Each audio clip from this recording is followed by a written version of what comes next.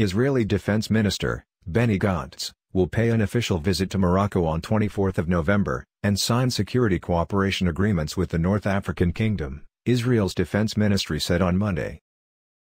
Morocco was one of four Arab countries, along with the United Arab Emirates, Bahrain, and Sudan to normalize relations with Israel last year under U.S.-engineered accords. Israeli Foreign Minister, Yair Lapid, traveled to Morocco in August for the first visit by Israel's top diplomat to that country since 2003.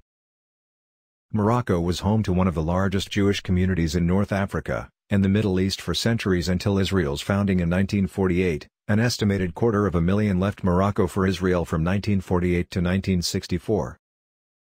Officials in Morocco have described the diplomatic deal with Israel, including the opening of liaison offices, and the launching of flights between the two countries, as a restoration of mid-level ties, that Rabat cooled in 2000 in solidarity with the Palestinians.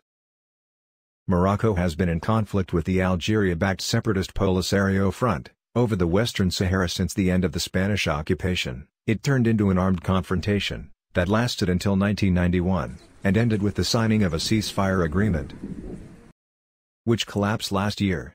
Last month, the leader of the Western Sahara independence movement vowed to continue the fight against Moroccan forces, along the separation wall until the international community recognizes the right to self-determination of the Sahrawi people. Towards the end of last year, in exchange for resuming full diplomatic ties with Israel, the U.S. Trump administration agreed to recognize Morocco's territorial claims, and supported its autonomy plan over the Western Sahara, a Hebrew newspaper shed light on secret military relations between Morocco and Israel, which started many years before signing the normalization agreement in December 2020. According to the researcher, relations between the two countries have mainly focused on intelligence cooperation and arms sales. Israel has sold Moroccan military systems, military communications systems, and surveillance systems.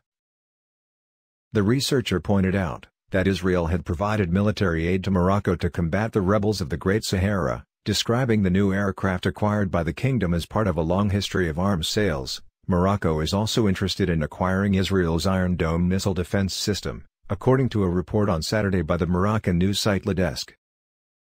The Iron Dome, designed to intercept and destroy short-range projectiles including rocket and drones, it would ensure the better defense of the sand wall in the Sahara, but also of civil and military zones of a sensitive nature, says the report referring to the kingdom's military sites.